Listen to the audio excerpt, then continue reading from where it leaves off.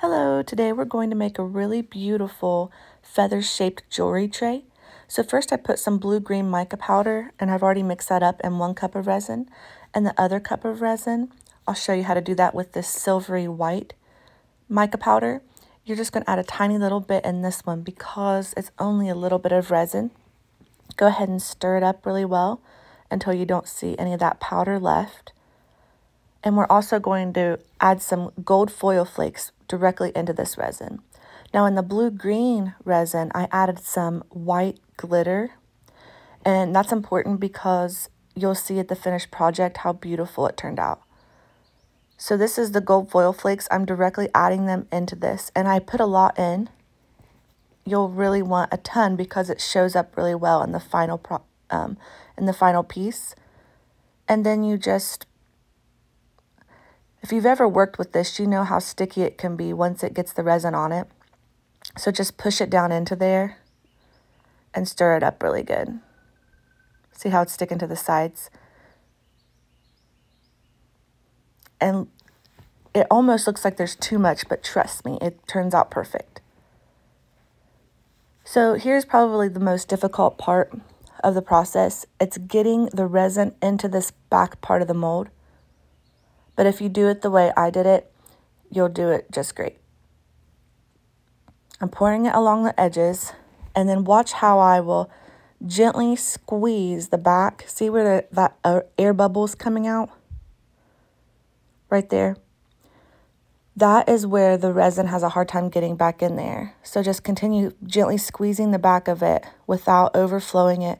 And then you'll want to gently squeeze where the feather stem is or you'll get a hole in that because you'll get an air bubble. So I like to do that and it turns out perfect every time if you do it exactly how I did it. So then you continue pouring the resin along the edges, being careful not to get an overfill because it makes a mess. And then see how we still have a little bit of a clear space there in the middle? Before that accidentally fills up, I like to go ahead and add the white gold foil resin and I'm putting all of it there. And just get it all out and just put it all along the middle. And what this does is when you demold this, that whole bottom of the feather is going to have this beautiful, shiny gold texture. And it's really beautiful. Then you're going to go ahead and work that into like the edges of the mold and be very careful not to make it drip around the edges. And this is me kind of incorporating it.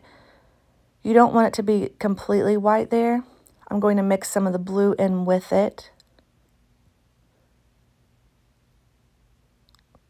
And you can see how I'm sort of very gently pushing some of that gold foil into the edge so it blends a whole lot better.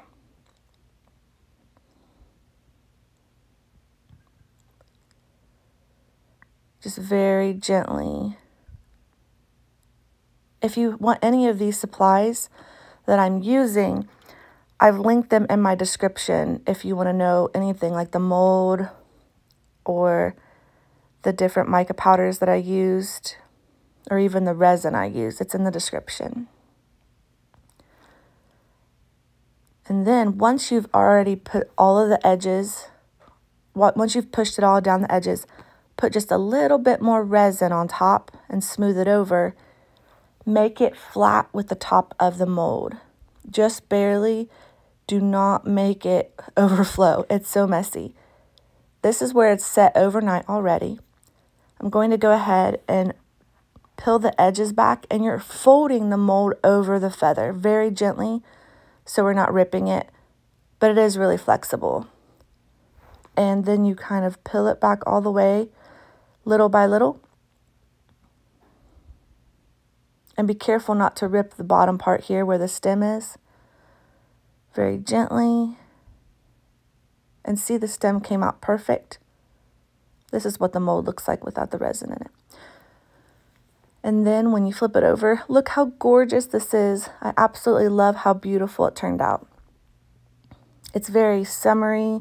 It's just, I love it. This is a great for jewelry, so you can put your earrings or your car keys on it or whatever you want really. You can see how big it is compared to my hand. It's mostly a jewelry tray. And if you like this video, please like and subscribe. I have a ton more resin tutorials on my channel. I would love to have you join us and I hope you have a great day.